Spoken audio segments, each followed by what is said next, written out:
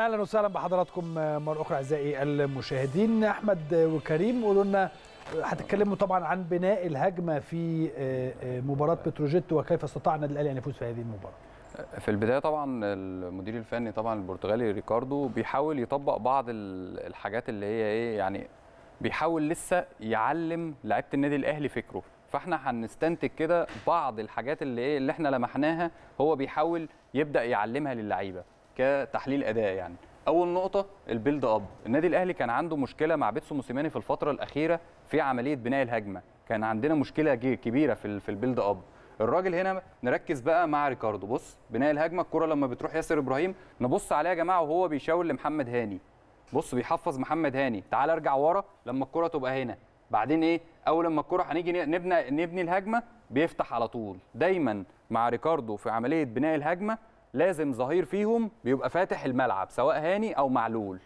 ده الشغل يعني بشوف إن ده أول حاجة كده بدأت بدأ يحفظهم. بص هنا برضو هنا نفس الفكرة. هنا برضو بناء الهجمة أهو.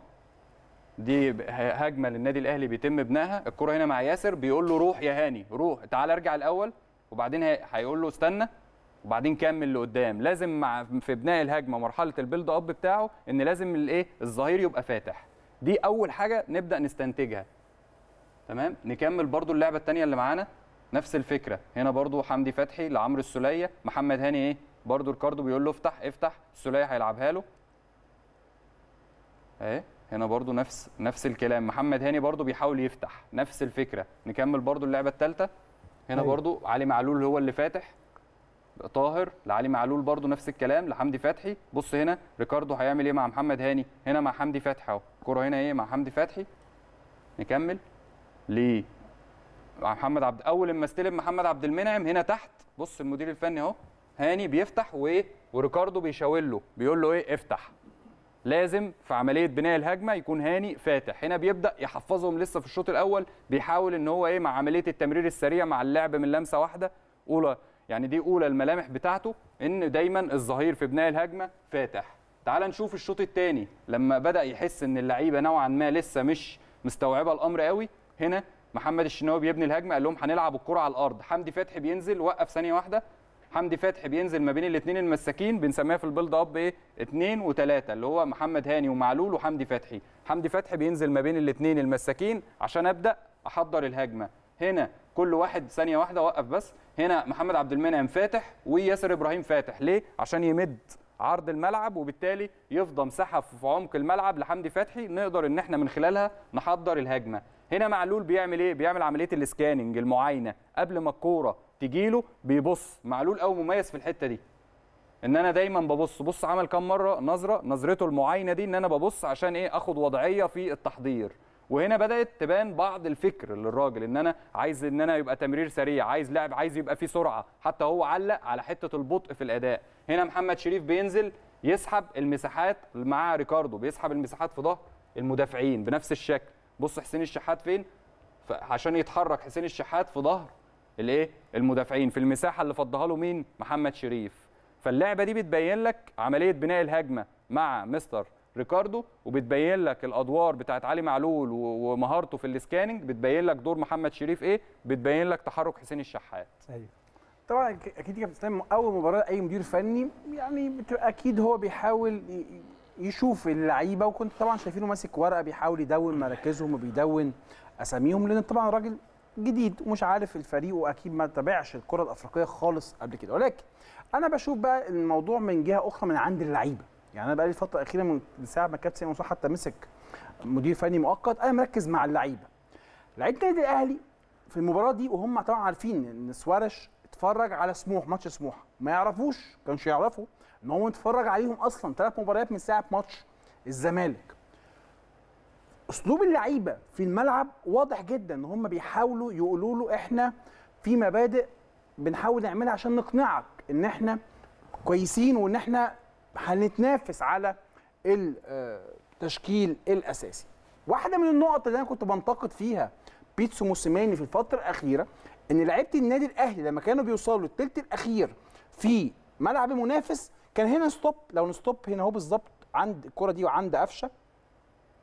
نقف هنا بالظبط عند قفشة. الكرة دي لو كانت من حوالي شهر كان هيبقى أول اوبشن عند مجدي قفشة بالظبط كده إنه هيشوط. وشفناها كتير قوي. وكان مجدي قفشة بعد ما يشوط والكرة تضيع كان يرفع إيده ويعتذر لجميع زملائه اللي كانوا بيبصوا له ويقول لهم أنا آسف أنا آسف أنا هشوط. هنا لا قفشة غير الفكر وبدأ لما بنوصل الثلث الأخير بنباصي. قلت عايز أعرف الكرة دي كانت كده استثناء ولا فعلا ده حاجة هم مت... اتقالت لهم لما توصل الحتة دي. بص برضه الهجمة دي في كذا option هنا للتسديد ما حدش بيشوط. كله بيحاول يمرر لزميل. كله بيتعمد إنه يبص ويشوف إيه options التمرير قبل ما أفكر خالص في التسديد. هنا برضه الكرة دي علي معلول بيفتح الكوره ومحمد شريف بينزل وبيرجع. كل اللعيبة بتلعب لعب جماعي. هنا طاهر لقى إن عنده مساحة إنه يسدد. مقبولة جدا. كورة هنا النادي الأهلي بيضغط على بتروجيت وبنستخلص الكورة في نص ملعبهم. كمل الهجمة ونبص عندنا مساحة كتيرة جدا للتسديد. ما حدش برده بيشوط. عمرو السولية بيرجع الكورة.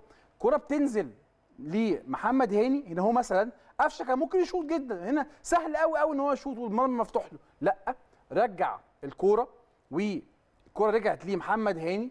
هنا مساحة واضحة جدا لطاهر محمد طاهر إنه يشوط. برضه بيقرر إن هو ما يشوطش ويختار الحل الجماعي اللي محمد شريف يمكن هو مجبر على التسديد. نفس الأمر اتكرر في الشوط الثاني بنشوف النادي الأهلي بيلعب لعب جماعي واللعيبة بتلعب لعب جماعي. طبعا مليون في المية. ده مش دور ريكاردو سواريش خالص ولا هو له أي بصمة فيه. ده ببساطة تصرفات طبيعية أو فردية من اللاعبين لأن هم عايزين يقولوا له إحنا في الثلث الأخير بنلعب لعب جماعي. نكمل الكورة. بنشوف حسام حسن بيرجع بالكورة لمجدي قفشة. الكورة دي برده تاني نكمل. هنا بقى هنشوف شفناها كتير قوي مجدي قفشة أول option عنده بصراحة يحط ال R2 كمل كده اللعبة. خلاص هو دخل في العمق. إيه شوف بقى ال R2 مش هيعمل كده طبعا. ليه؟ إن هو عايز يلعب لعب جماعي. فهيمهد الكورة للزميل الأقرب. هيخش حمدي فتحي في موقع موقف أفضل للتسديد وشاط كورة جت في العارضة. آخر كورة معانا في ال- ال- الحتة دي برده في اللعب الجماعي هنشوفها دلوقتي.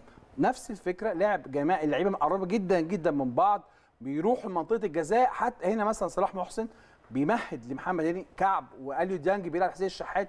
لعب كله جماعي اللعيبة بتبعد تماما تماما عن الفردية وده أمر أنا شايفه شيء جيد. واتمنى ان ريكاردو سوارش يبني عليه ان إحنا محتاجين في الثلث الاخير للملعب نبتعد تماما عن الفردية اللي كانت بتضيع لنا فرص كتيرة في الفترة الأخيرة من حقبة موسيماني تعال نكمل برضو ال- التمرير اول نعم. نعم. يعني أول حاجة هو عايز يطبقها بص بص أيوة. هنا عدد الهدف الأول واحد اتنين معلول ثلاثة ده ده شغل مدرب على فكرة يعني مش مش شغل مدرب من أول مش هقول لك ده مش شغل فايلر آه شغل فا... بس هو الراجل. مديهم تعليمات من أول ماتش إن أنا عايزكم تمرروا يعني فايلر لعب كده آه. وموسيماني عايزكم لعب تمرروا. عايزكم تلعبوا من لمسة واحدة فاهم فده ده واضح إن يعني إن ده إيه هو عايز يطبق ده مع النادي الأهلي هنشوفه في الماتشات الجاية. اللعيبة خايفة تغلط. آه. اللعيب برضه لو خد قرار التسديد ده قرار فيه مخاطرة. صح. إن أنا لو شوط شوطة وحشة ما هيقول أنت قرارك غلط وبتشوط وحش. بس دي يعني أنا قصدي إيه إن ده يعني إحنا بنستكشف كده الراجل. يعني الراجل لسه جاي جديد فعايزين أيوة. نشوف إيه فكره. واضح جدا إن هو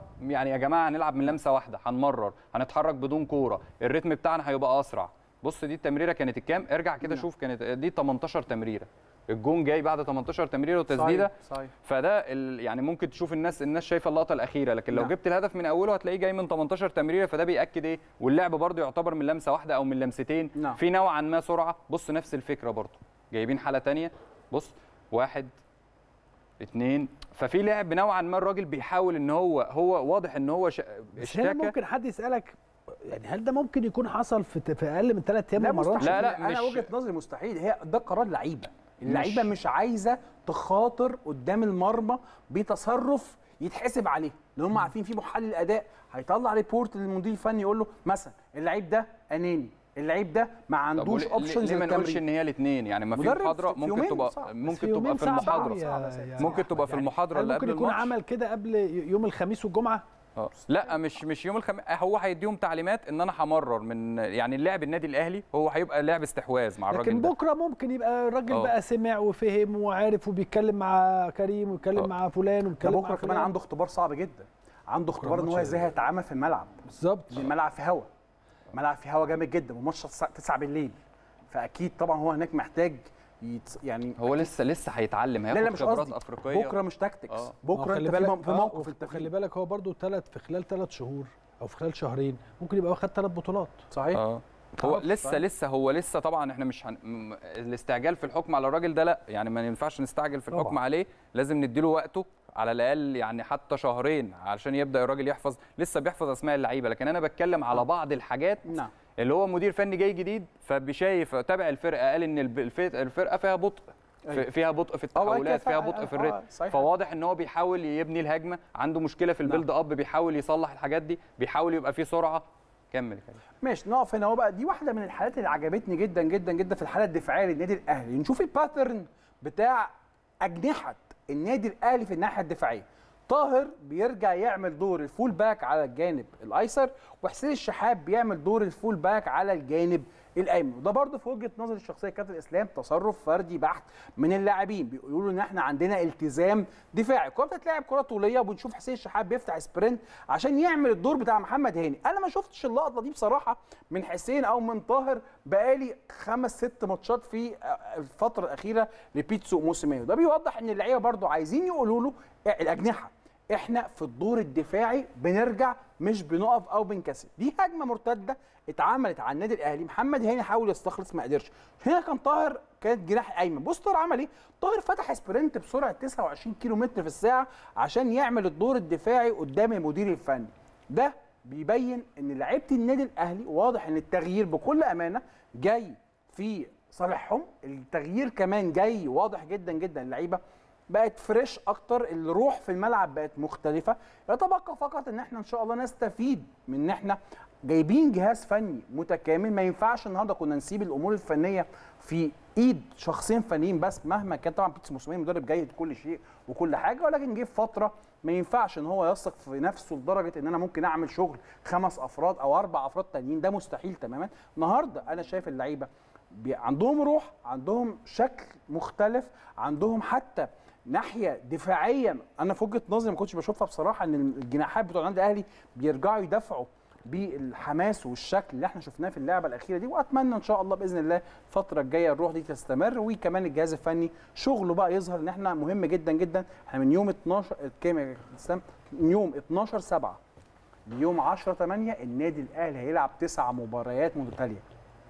تسع مباريات متتالية في 28 يوم.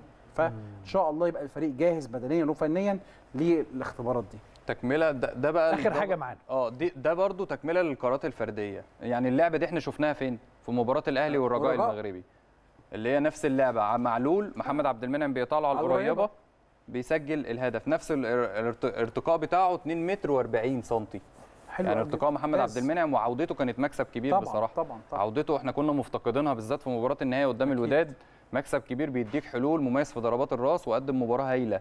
ده, ده واحد من القرارات الفردية لكن اللي أنا كنت بتكلم عليه الباقي إن ده ممكن تكون بعض الايه الحاجات اللي هو لسه عايز يطبقها عايز يعملها. حتى هو لسه بيبدأ يحفظ أسماء اللعيبة عايز يبدأ إيه، شايف انت مستبشر بخير. إيه؟ إن شاء الله. كلنا مستبشرين أنا شايف إن هو. مدرب منظم. يعني هو هو أول انطباعات اللعيبة والجهاز إن الراجل ده مدرب منظم صحيح بيهتم بكل تفصيلة صغيرة ومنظم جدا. وطبعا الجهاز اللي جاي معاه جهاز محترم جدا طبعا يعني. طبعا عموما يا رب كل التوفيق للنادي الأهلي بكرة في مباراته زي العادة وزي ما دايما حضراتكم متعودين معانا.